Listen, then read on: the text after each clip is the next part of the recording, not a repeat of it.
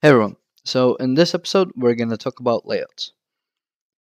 So as we did in the previous episode, if we go into our admin page and let's open up our admin main.js and let's just make quickly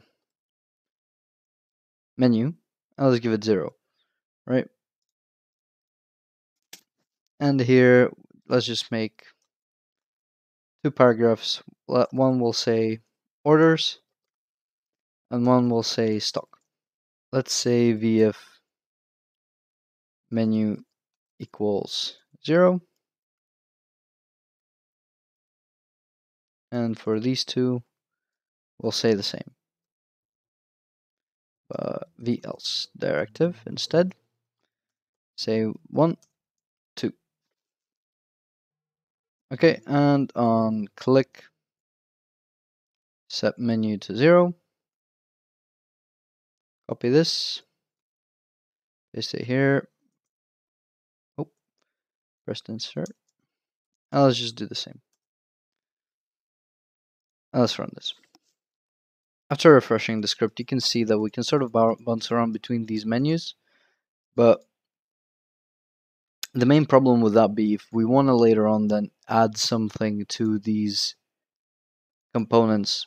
It would be hard hard to maintain. So you don't you do not want to go this sort of spa route if you're not using a full-on spa features that Vue provides. So this is not how you really want to build your layouts and build them from components.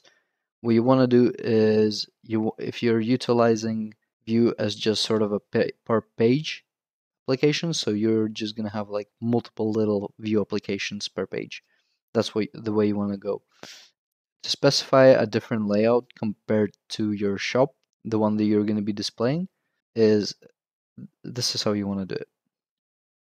So let's go to our admin. Actually, let's go to shared first. Let's copy our layout, paste it into our admin, and let's copy view start and paste it here as well. Let's rename the layout to admin layout. And in our view start, we open it up, set the layout to admin layout. Okay, close that.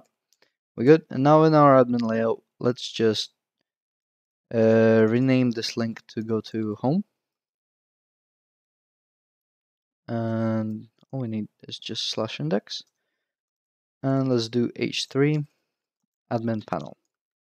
And let's give it a class of as text centered. There we go. So let's run this. So as you can see, if we go and switch, sorry, if we switch between the um, pages, our layout changes. So this admin button is present on our layout, on our main layout, and it's not present on this layout. So it changes. So this menu, it's going to stay the same throughout. So we really want to keep it in our layout part right here. So let's do just that. Let's take our menu.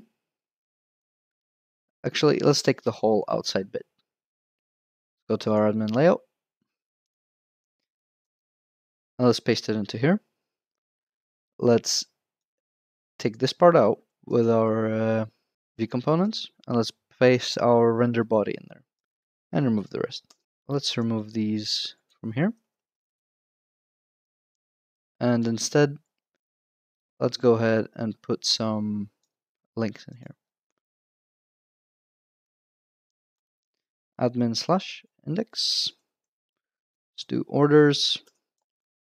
And let's do stock. For now, we'll keep products in index. Later on, we might add a sort of like a overview page, but we'll keep it simple for now. Alright, so now that we've done that, let's go into our index uh, page. Let's remove all of this. Actually, we don't even need our component anymore. So let's take all this stuff from the component and put it back into our index page. And let's fix our ads. Let's remove this script from here. Um, We can take the rest of the functionality from here, cut it, and put it back into our main.js. And let's remove the object that we return, like so. Okay. And let's remove this file. We don't need it anymore. All right.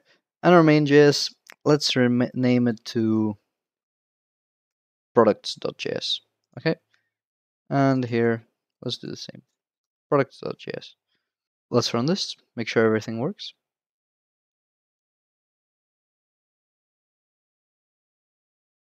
Okay, admin page. And there we go. We're on the admin panel.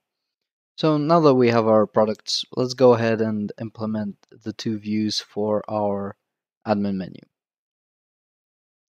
Close that. Also, in our admin layout, let's just quickly wrap this and put it in a container. So we have a little bit of padding on desktop views. Okay, and let's just quickly copy this as well.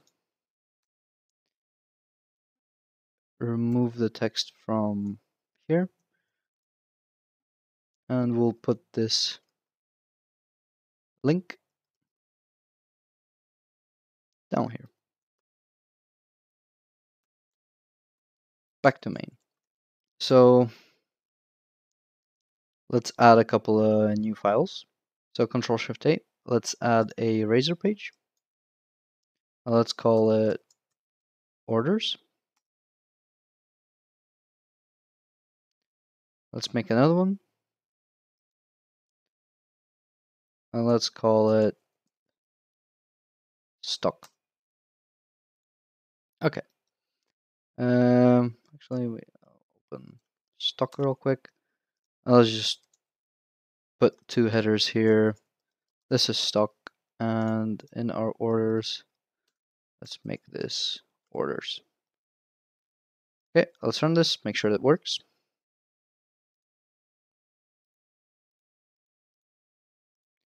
Okay, nice.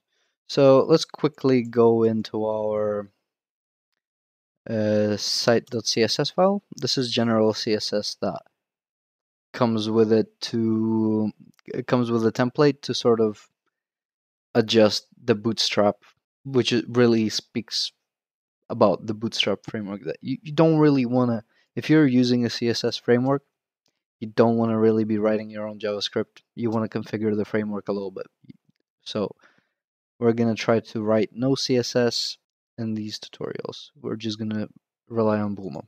Okay, so refresh that. Nice.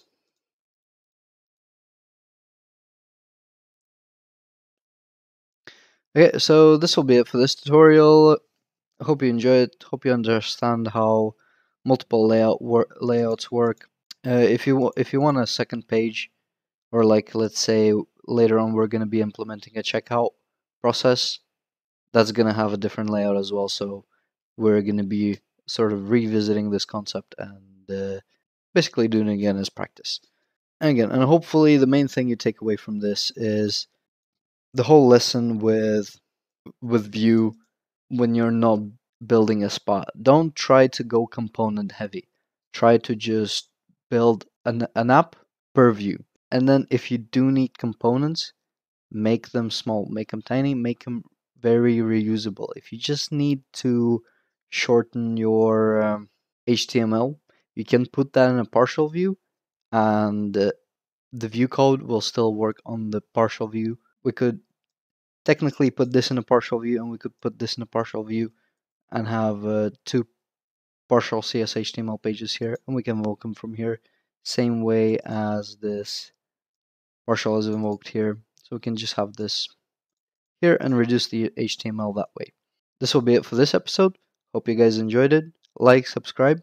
It will help my channel a lot. Don't forget to leave a comment. Tell me how I'm doing. Tell me what I'm explaining well, what I'm not doing well. It'll help me learn and uh, steer these tutorials in a better direction. Maybe I'm uh, going too fast, not explaining, you know, that kind of stuff. Just how you feel about these tutorials. Maybe you're you're kind of going through them and you're still confused and maybe you can leave a comment about what you're confused or and maybe I can clear that confusion up. And later on in the future, I'll remember that hey, that guy used to be confused about this. I better touch on this topic. Uh, if you have any questions, just leave them there. I'll try to answer them all. And as always, see you in the next episode.